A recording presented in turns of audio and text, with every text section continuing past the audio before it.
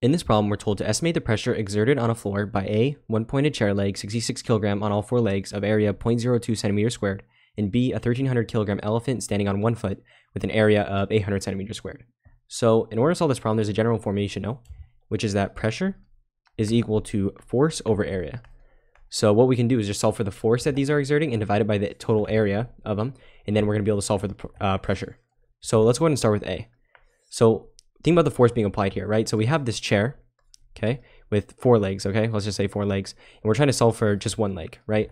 So uh, we know that the force being applied here is just the force due to gravity, right? So it's just the weight force, which is mg, right? And so we know the total mass of the thing, right? We know the total mass is going to be 66 kilograms, right, of all four legs.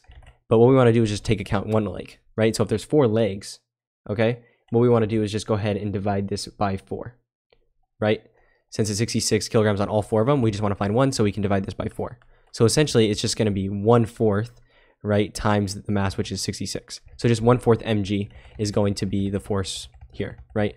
So now we know that we know the force, right? So it's going to be equal to 1 over 4 mg. And then what's the area? So they give us the area, right? We're just told it uh, right away. So what we can do is just go ahead and plug stuff in.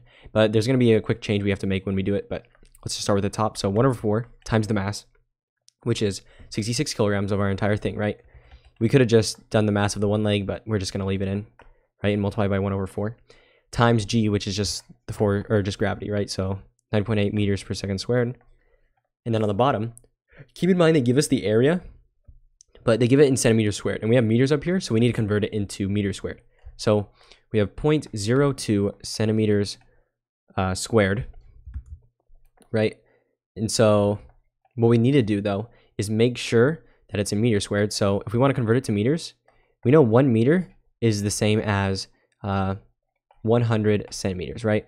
But keep in mind this is centimeters squared, so we have to square this whole thing, right? So we need to square that whole thing actually.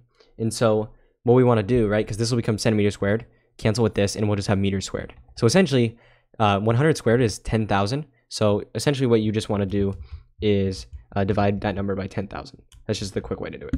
But this right here will work. So just plug this in your calculator, right? You want to do 1 fourth or 0.25 times 66, multiply that by 9.8, right? And then divide that by uh, 0.02, and then times uh, 1 over 10,000, uh, 10, right? And so when you go ahead and do this, you're going to get that it equals, yeah, so when you go ahead and do this, you're going to get that it equals about, right? So I'm going to round this to to scientific notation. So it's just going to be 8.085 times 10 to the 7. And then the units are just become, because this is a Newton, right? This is force. And then on the bottom, we have meters squared. So it's just Newton meters squared. But yeah, so hopefully, uh, right, this is going to be your answer.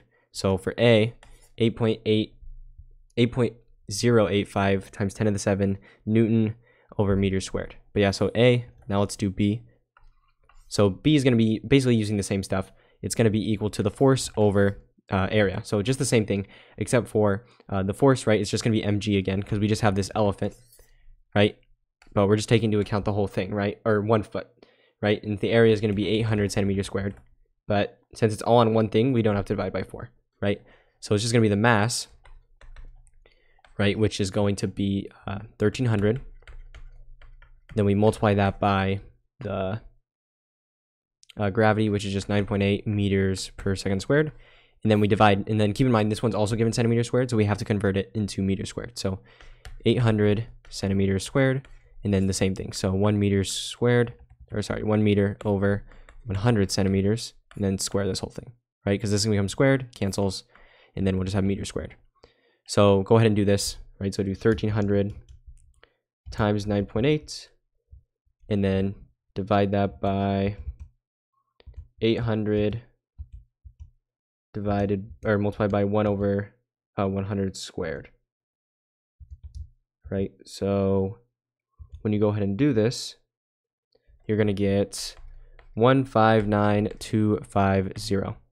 Right? And so what I'm going to do is just go 1, 2, 3, 4, 5 and just say it's about 1.59 times 10 to the fifth Newton uh, meter squared. So the same units, right? So Newton over meter squared, uh, 1.59 times 10 to the fifth Newton over meters squared. But yeah, so this is going to be the pressure for B of the elephant. And then this is uh, your answer to A. But yeah, so hopefully you found this useful.